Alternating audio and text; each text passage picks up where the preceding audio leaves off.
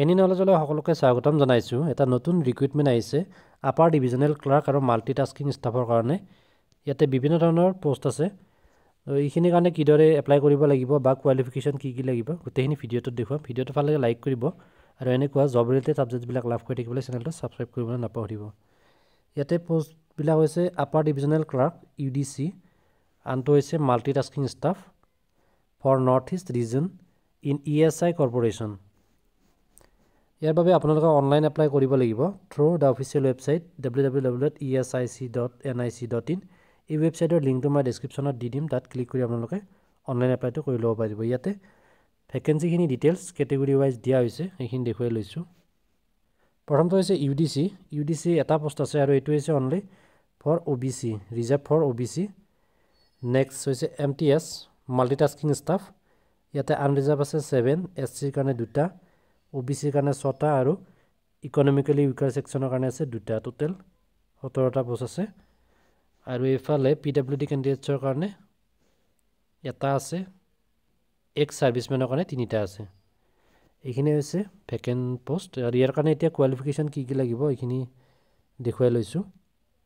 Pay scale pay স্কেলটো হ'ব U D চিৰ কাৰণে pay' level four rest twenty five thousand five hundred to eighty one thousand one hundred per month আৰু যিটো multi tasking staff আছে সেইটোৰ কাৰণে হ'ব এইটিন থাউজেণ্ডৰ পৰা fifty six thousand nine hundred per month ইয়াৰ বাবে essential qualification and other qualification তো ইউ ডি চিৰ বাবে লাগিব গ্ৰেজুৱেট অৰ্থাৎ ডিগ্ৰী পাছ হ'ব লাগিব plus working knowledge of computer including use of office suite and databases সেইটো লাগিব। নেক্সট যিটো মাল্টি টাস্কিং ষ্টাফ আছে মাল্টি টাস্কিং ষ্টাফৰ কাৰণে মেট্ৰিকুলেশ্যন বা তাৰ ইকুইভেলেণ্ট পাছ কৰিলে হ'ব। এজ লিমিটটো চাই লৈছোঁ কিমান দিয়া আছে। ইউ ডি চি যিটো আপাৰ ডিভিজনেল ক্লাৰ্ক আছিল তাৰ কাৰণে এইটিনৰ পৰা twenty seven years fifteenth of February twenty twenty টুত এইখিনি হৈছে আনৰিজাৰ্ভ কেটেগৰী কেণ্ডিডেটছৰ কাৰণে। বাকী যিখিনি ৰিজাৰ্ভ কেটেগৰী থাকিব তেওঁলোকে S T S C five years O' B C হ'লে থ্ৰী ইয়াৰ্ছ বা অন্যান্য পি ডাব্লিউ ডি হ'লে টেন থাৰ্টিন ফিফটিন ইয়াৰ্ছ সেনেকুৱাকৈ ৰিলেক্সেশ্যন থাকিব। নেক্সট মাল্টিটাস্কিং ষ্টাফৰ কাৰণে এইটিন ইয়াৰ্ছৰ পৰা টুৱেণ্টি ফাইভ ইয়াৰ্ছ আনৰিজাৰ্ভ কেটেগৰীৰ কাৰণে অৰ্থাৎ এইখিনি এজ হ'ব লাগিব fifteenth of February twenty twenty টুলৈকে যিহেতু লাষ্ট ডেটটো ফিফটিন ফেব্ৰুৱাৰী হয়। এইখিনি তলফালে উল্লেখ কৰা হৈছে। নেশ্যনেলিটি এইটো ইণ্ডিয়ান হ'ব লাগিব বা এই ছাবজেক্টে ছাবজেক্ট অফ নেপালৰ Bhutan how to apply apply কিদৰে কৰিব?